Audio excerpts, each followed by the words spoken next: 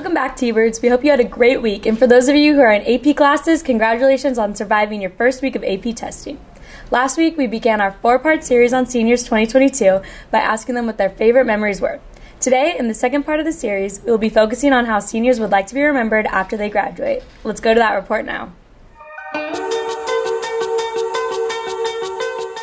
I'd like to be remembered as maximum effort. As the guy who went to YHS. I know for sure I'm gonna be remembered as the class clown because I won that in the yearbook. I would always like to be remembered as the kid who was always loyal to his friends and peers. I want to be remembered at Kaipa High, probably for my hair. I would just be want to be remembered as someone who always loved being there for someone and helping them throughout anything.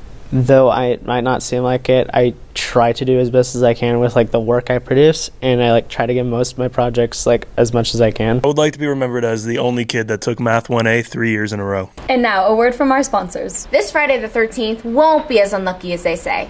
Why? Because on that night, YHS will have loads of entertainment going on back to back.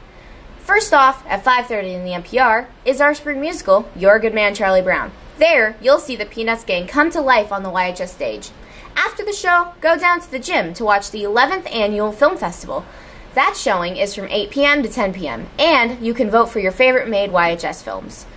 By the way, in case you can't make it to the musical that night, the other showings are on Thursday, May 12th at 7 p.m., and on Saturday, May 14th at 1 p.m. and 7 p.m. Tickets are $12 at the door and $10 pre sale from cast members. But for now, spend your Friday the 13th with the YHS Arts. See you then. And now to Mo for sports. Thanks, Haley. In boys volleyball, Rev came to town with a few losses and left with one more. Let's get to that event now.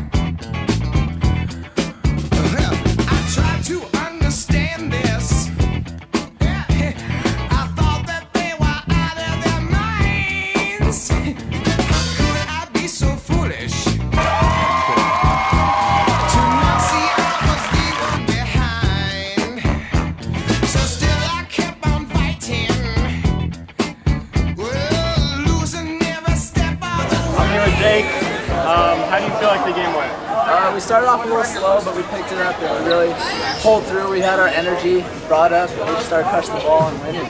He's at it. How do you feel to be a CBL champion? It feels good. Uh, I haven't been able to win since I've been here. We last few seasons kind of got jacked up because of COVID, but this season we're able to like, work hard and finally take it home for the first time. Congratulations once again to boys volleyball. And speaking of Rev, the boys baseball team absolutely annihilated Rev with a final score of 14 to 1 last week. Needless to say, Wildcats. Meow. Back to you, Haley. That's all for Thunderstruck. Have fun at prom, T-Birds.